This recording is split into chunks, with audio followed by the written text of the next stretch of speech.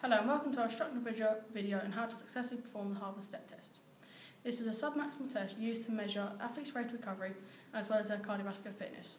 The assessment of cardiovascular fitness is important for athletes who experience high intensity activity followed by rest periods such as football and rugby. Before conducting the test, participants must complete a PAR-Q questionnaire to determine if they are physically fit enough to participate. After they have passed the questionnaire, the test administrator and participant must agree the surrounding area is suitable and safe to conduct the test, making sure it is safe with no objects which could cause injury. The athlete is advised to complete a warm-up lasting 5 to 10 minutes to ensure the body is ready and reduce the risk of injury. Aspects needed in the fitness test include a heart raiser and stretchers. The step platform or bench must be stable and safe to prevent falling. The ground must be flat, on a non-slip surface, and the bench must have no obstructions.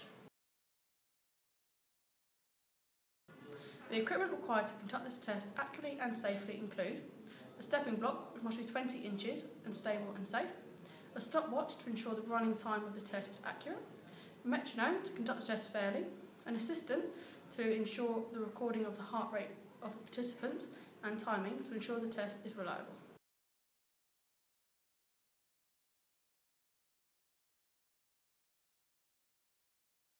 This piece of equipment is the metronome and will sound when the athlete should step up and down the bench.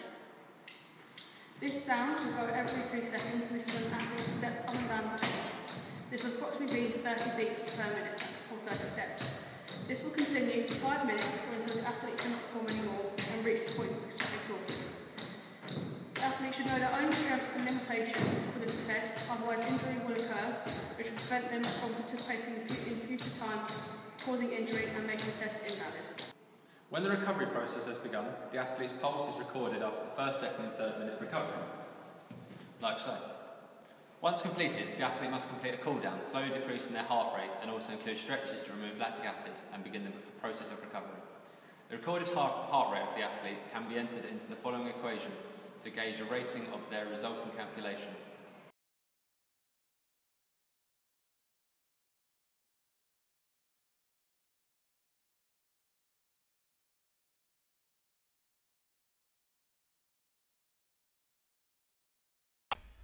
In the example shown, the totaling heart rate is 180.